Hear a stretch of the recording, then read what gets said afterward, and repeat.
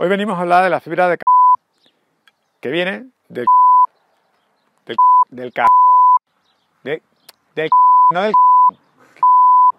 joder, que que que no, que del míralo el tío, madre mía, tío, déjame ya.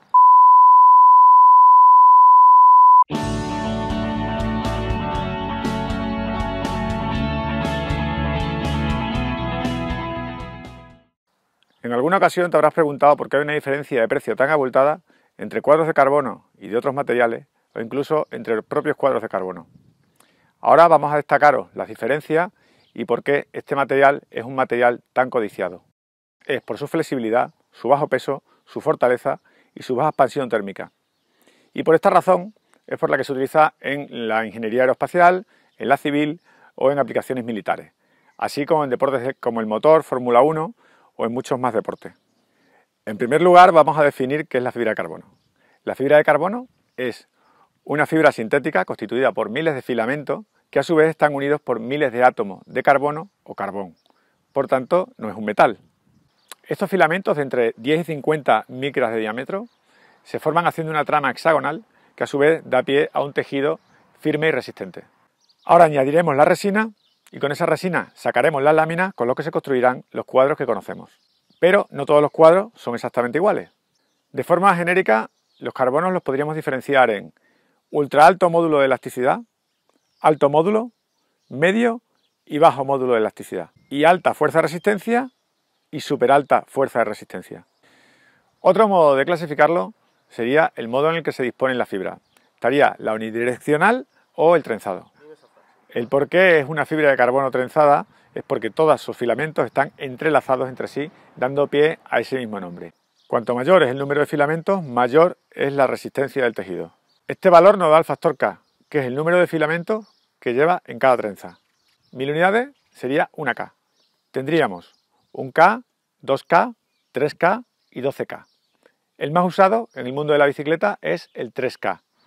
La utilización de la fibra de carbono trenzada ha ido perdiendo fuerza en el uso para las bicicletas de carbono, en pro del unidireccional. Y esto es porque, aunque el trenzado es muy resistente a la rotura, eh, no tiene elasticidad ninguna. Y es lo que hace que el unidireccional, solapándolo como se utiliza ahora, esté cogiendo mucha más fuerza en el uso de la bicicleta. La fibra de carbono unidireccional se llama así porque todas las láminas de fibra van en el mismo sentido. Esta tiene bastante menos peso que la trenzada y puede adoptar formas más complejas. Es extremadamente resistente a las fuerzas que vienen en una sola dirección, pero no las que vienen en dirección contraria. Es por esto que cada vez más se combina con la fibra trenzada. Dos tercios de la fabricación del carbono que se hace en el mundo lo hacen tres empresas. De ellas, Toray es la más famosa. Toray tiene cuatro tipos de fibra de carbono.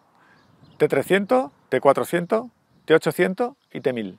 Otros factores que intervienen mucho en el comportamiento del carbono sería el número de capas que se utilice, la cantidad de epoxi que se utilice o la temperatura a la que se someta. En todo este proceso hay múltiples variables.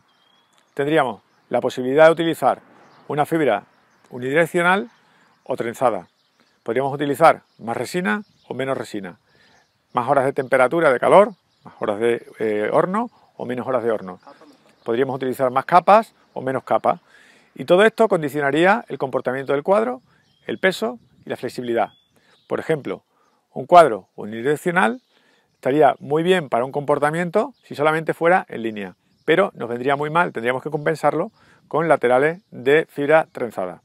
Tendríamos que poner una cantidad de pegamento necesaria, pero sin pasarnos para que tuviera flexibilidad. Si nos ponemos mucho pegamento, aumentaríamos el peso, pero conseguiríamos también mucha flexibilidad. Todos estos ingredientes condicionan un resultado. En función de que Chef manipule todas estas herramientas, tanto la fibra como la temperatura, como la resina, el tipo de mm, laminado que utilice, generará un resultado y un condicionante. Este chef, llámese fabricante, es el que finalmente provocará que el cuadro dé unos resultados y un comportamiento que es el que nosotros perseguimos. Hemos hablado de las pautas más generales y básicas. Evidentemente, habría mucho más que añadir, pero esto lo vamos a dejar en manos de los expertos. A lo largo de los años, con el aumento de la demanda y con las innovaciones que vayan apareciendo, veremos cómo se van implantando en otros sectores. Y todas estas evoluciones se vendrán a aplicar en el ciclismo también. Esperamos que os haya gustado y le saquéis el máximo rendimiento. Un saludo y hasta la próxima.